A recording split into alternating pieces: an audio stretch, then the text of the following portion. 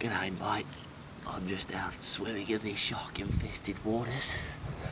Oh, no, I can see something. Oh,